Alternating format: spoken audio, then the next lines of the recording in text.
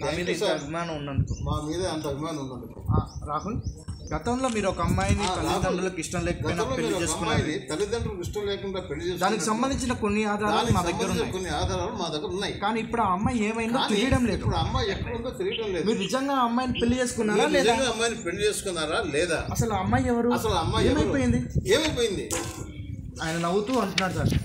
Commissioner గారు కందమామ కథ ఏమైనా చదివారా? కమిషనర్ గారు నా కొడుకు ఏంటి పెళ్ళేంటి? నా కొడుకేంటి?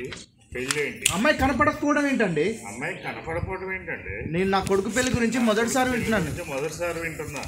అనగానే ఇంతలో ఆవిడ వచ్చింది సార్ అక్కడి నుంచి. Shock full. అది వచ్చినాయిలేండి షాక్ అండి ఓకే. వచ్చినాయి ఇందాక వచ్చింది కదా సార్? చూసుకోండి సార్ షార్ట్ చూడండి సార్. కష్టపడి యాక్ట్ చేస్తారు రండి సార్ ఇక్కడ చూడండి. రండి. ఒకసారి ప్లే రండి సార్ మీకు చూస్తేనే కదా బాగాలేదని చెప్పడానికి. చూడకుండా మీరు ఎట్టుదా రీప్లే.